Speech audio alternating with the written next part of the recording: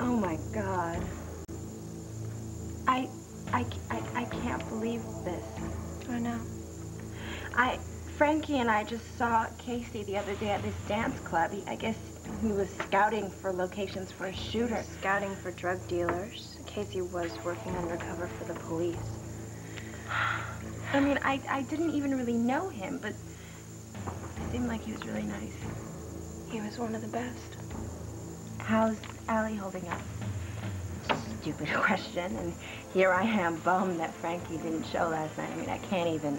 Well, she's better than she was yesterday. She can imagine she is. This is a terrible thing. What is? And please don't say it's happening to me. What's this?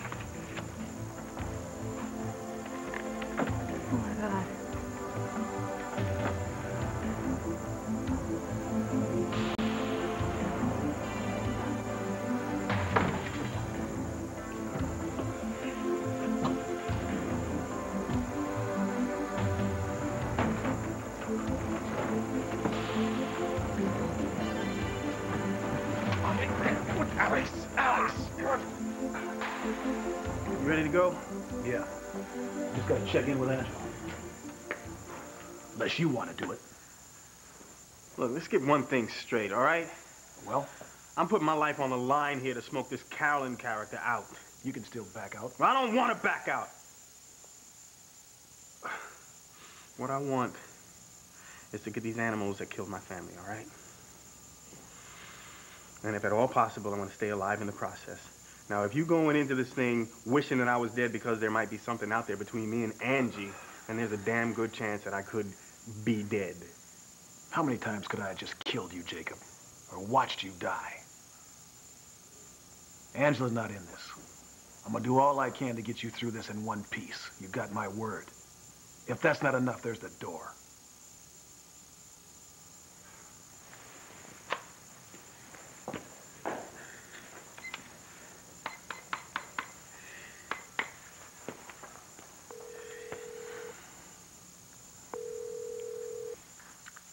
Hubbard resident.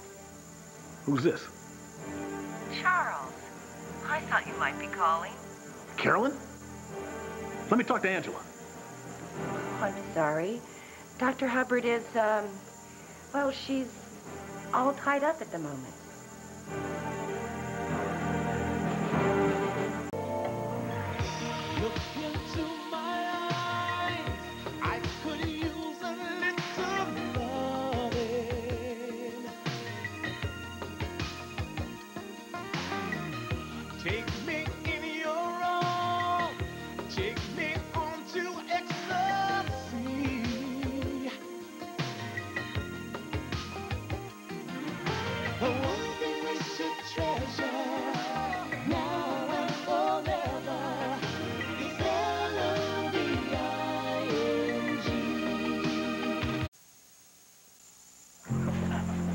Alex, come on, be cool. Chill, man. I'm suffering here. This man's here for observation. I This won't let man is a murderer. You have to calm down. Alex. Casey Bowman's body is lying right in that room in there, and if you had your way, Allie would be laying right next to him. Alex, calm Please, down. sir. I was just having fun with Allie. I wouldn't have hurt her. I like her. God, God. How's Allie doing? Oh, she's doing real good. She's doing real good. You killed her husband. I, Alex, will you get off this guy? man, I didn't kill anyone. A cop.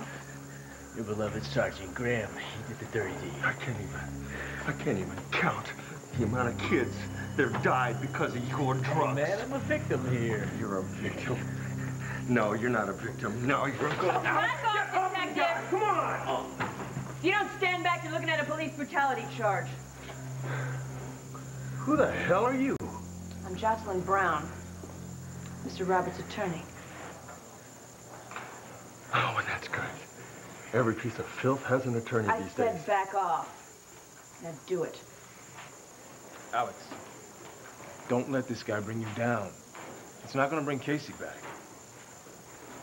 Get him out of here. Let's go.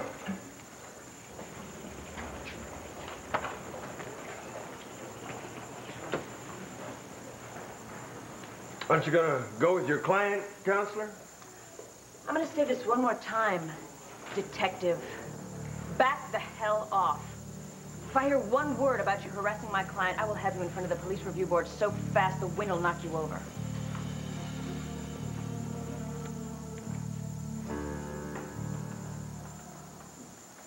I just can't believe it.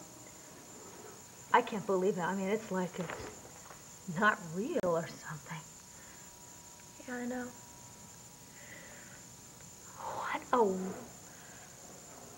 a waste. It's sad. What a waste of talent. Did Casey take this? Yeah. I think that that was the best work he ever did on that campaign. Do you remember that? You know what? Life is not fair. Is not fair, girls. You can write that down. How long ago did he take this? I don't know, what, six months? It was more like six years ago.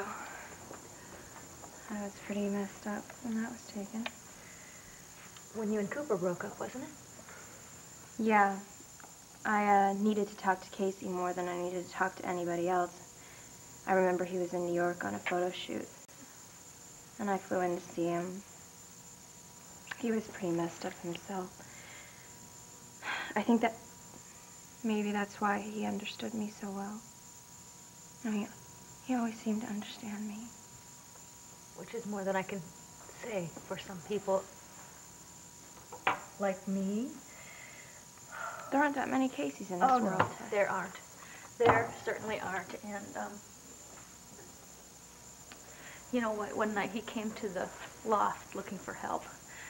Look, just, you helped me out this one time. I promise I'll never ask you for anything again. You've got that much right. And what's that supposed to mean? I didn't appreciate the fact that you didn't show up for work today. What? I'm trying to run a business here. You're out partying when you I was not out partying. do. I was home. I was sick. Yeah. You know, we had a deal, Casey. If you did anything stronger than aspirin, Yeah, I don't like what you're implying, Tess. fired. You can't do that. I can, and I just did, and I don't want you near me. Come on, this is I'll ridiculous. send your stuff to the house. Will you do? No, will you just relax I'm for a sorry, minute? Casey. You've got to get your act together. Well, how the hell am I supposed to do that now? Well, you know, I helped him all right. I fired him. If I had just been willing to listen, if I had just tried to understand. It's, it's too late for regrets, Tess. Well, I know that. That's probably what's bothering me right now. Well, good. Maybe, maybe it will bother you enough so that next time you do better. Yeah, maybe. Anyway, I just know that I really need to be here for Allie right now. Where will the funeral be? Um, Allie feels that Casey wouldn't have wanted a funeral, so the memorial service is the day after tomorrow. So that means you're going to stick around for a while? For more than a while, I think. When will you leave for Paris? Um, Bree, I really don't know that right now. I think you should just take things one day at a time, you know what? Yeah. Oh, I'm meeting Allie this afternoon, so I gotta get going. Listen, could I go with you? Because I would like to go, but I feel a little weird about seeing her Sure, no problem. I gotta stop by the hotel and pick up some things because I, I said I'd spend the night with her tonight. You're really a good friend, you know that. She's lucky to have you. I'm sure that you're going to be a great comfort to her. Well, I don't know that, but I have to try. Um, Bree, if you want to stay in my hotel tonight, you can. Yeah, are you sure? Yeah, it's empty. I mean, I hope it'll be empty anyway. You had to say that. I'm sorry. Look, if you're scared, don't stay there. Oh, look, right? if this nutcase is still around, he's not going to be interested in Bree. What, I'm not glam enough to be It's not stuck, what I said. Okay. Anyway, is it okay if I bring a friend over? Oh, absolutely. Yeah, fine. Room service is on me. Cool. Well, then maybe I can even forgive him for not showing last night. Yeah. Well, I'll see you later. You ready? Yeah, Okay. See ya. Bye.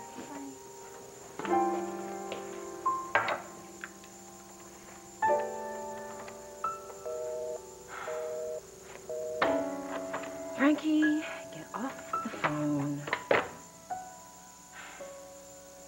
You're not as smart as I thought, Carolyn. Oh?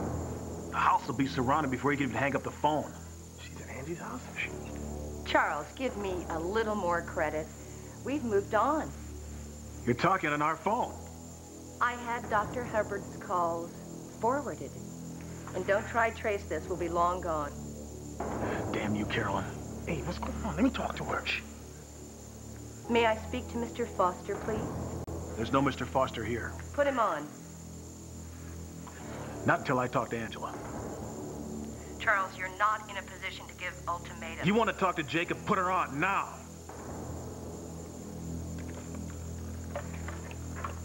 For you, Doctor. Honey, Baby, are you all right? we haven't been hurt. We? Frankie's here too. Oh, my God. Look, honey, I'll get you out of there. Now, don't you get scared. Charles, your three minutes are up. Mr. Foster, please. Damn you, Carolyn. If you hurt them, I swear to you, I'll... Now, Mr. Foster, please. Hey, do you remember me, you pathetic woman? You remember me? Mr. Foster? Or do you prefer Mr. Johnson? Let me tell you something. Let me tell you something, all right? You don't want me to get my hands on you because I will kill you. Remember what happened to your wife and child. And if you haven't already, you might like to relate that experience to Mr. Harrison. But then the good detective knows already what it's like to lose someone near and dear. And if you don't do exactly what I tell you to do, it's going to happen to you both again.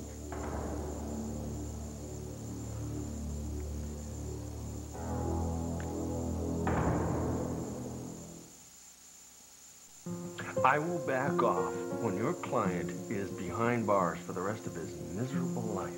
My client is going to, uh, as they say in the movies, walk. Walk straight to prison. You're looking at two things here, counselor. You're looking at kidnapping and murder one. You're looking at zilch. You're not going to make either one stick. Then you better have a killer defense. Yeah, It's rather prosaic, actually, but I think it'll work. Entrapment. Entrapment. Mm-hmm. you really think you're going to get people to believe that Graham forced little Danny boy into the life of crime? The man is the chief of detectives. Danny's an impressionable boy. I'm troubled, I'll grant you, but uh, he's no match for Detective Graham. He was just doing what he was told.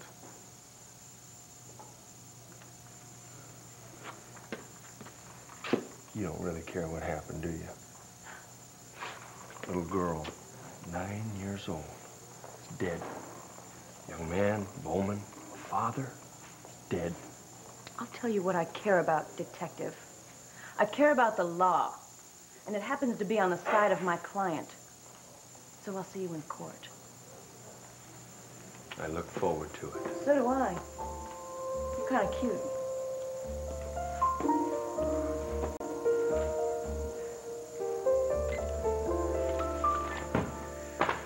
Well, come on, man. What's she want? She wants you and me in exchange for Angie and Frank. She said she's gonna have them tied up in a car somewhere. What? No location? She's gonna call back in an hour when she has it all set up. That must mean that she's gonna... She's gonna be calling on the phone somewhere, somewhere near that car. And? So if we can locate the phone, then we can find Look, a way... you don't, you don't understand. There's not gonna be a trade-off. If we both show up, she's gonna kill all four of us, man. Jacob. What are you talking about, Jacob? It's a setup, detective, just like before. Jacob, the worst thing we can do right now is panic. No one's gonna get killed. Yeah, right. How can you be sure of that? Now, Jacob, just calm down. Just listen to me. What? All right. When Carolyn calls up to give us instructions, I'll trace the call and get a location on that phone. Now, Frank and Angie are already in the car. Carolyn's got to be close enough to watch. Now, all we got to do, we have to, we have to stall this exchange long enough so no, that I can. man. Uh-uh. I'm not playing games with this lady. Not when Angie and Frank are on the line. What, you think I am? No, I don't. There's got to be another way, man. There's got to be another way. Yeah. Well, don't be shy, man. You got something? You got your car here, right? Yeah. I have an idea. I haven't completely thought it out, but I have an idea. Well, let's just talk about it on the way. Come on. Uh, you all right? Yeah. Yeah, come on. You're not fooling me. And I doubt you fooled Charles or Jacob. I'm not much for fooling, Dr. Hubbard. You're not going to trade us for them. You're going to kill us. All of us, aren't you? I can't understand it. Which part? You're a doctor. You're sup- Or are you? With all the paper to prove it. Doctors are supposed to help people, not kill them. Yeah, I read that literature too. Are you really with the FBI? Would you like to see my ID? Then how can you do something like this? I know, it's confusing, isn't it? It's confusing. Yes, I'm a doctor. Yes, I'm with the FBI. Good guys, right? The good guys chase the bad guys and put them away, and justice reigns supreme. Well, to quote Hemingway, isn't it pretty to think so? But it doesn't happen that way. Because the bad guys get out the next day on some asinine technicality. Well, you know, then you first get sad, and then you get angry, and then you do something about it. Like taking the law into your own hands? Somebody has to. They were animals, those people we killed. Drug dealers, pushers. In order to get them off the streets, you had to use hired killers. Isn't that just as bad? And they did what the courts wouldn't do, and sometimes the end justifies the means. How do you justify what happened to Jacob? Well, that was regrettable. But he should have kept his mouth shut about what he saw. You killed his wife and child. Isn't that enough blood to spill? You're a woman who cares about justice. You just said so. End it here. Walk out that door and let it in now.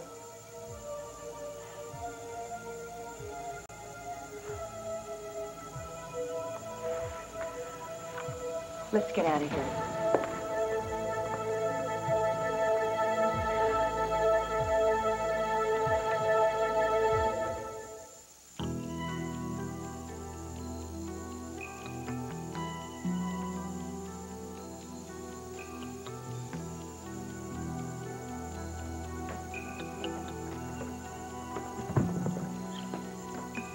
Don't let me interrupt your reading. Hey, that was cool the way you put the muzzle on old Alex Masters. Thought he was gonna bust my head open.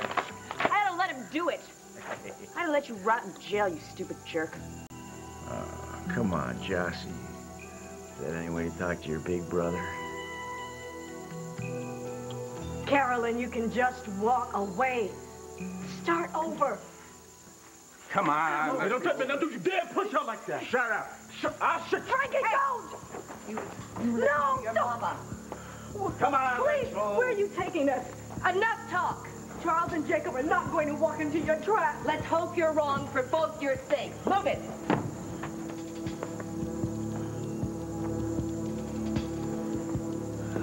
This idea's as crazy as you are.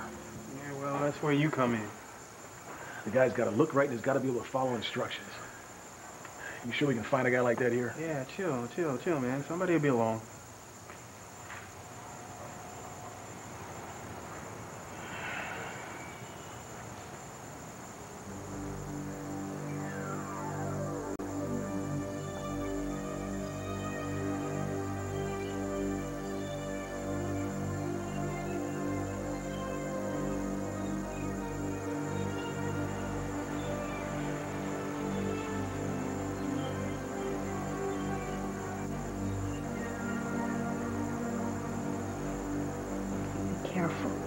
You hear? I hear. You just take care of yourself. If anything ever happened to you, I...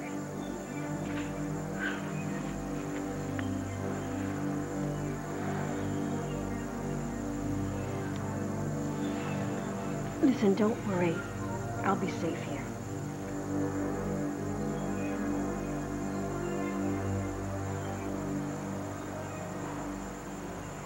Life's funny, huh? real gut buster. I mean, who'd have thought? Me and you, partners. Ah, go figure. For now. Till we get Frank and Angie out of this. Then, uh... There's our boy. There's our boy. Yeah, he's the right height and the right weight. Let's hope he's got a brain. Hey. Hey! I mean to scare you, man. What do you want? Uh, you really looking for work? Is that a scam? Well, what are you, a cop? Do I look like a cop? No cop looks like a cop anymore. Hey, you looking for work or not? What do you got? We got a proposition for you.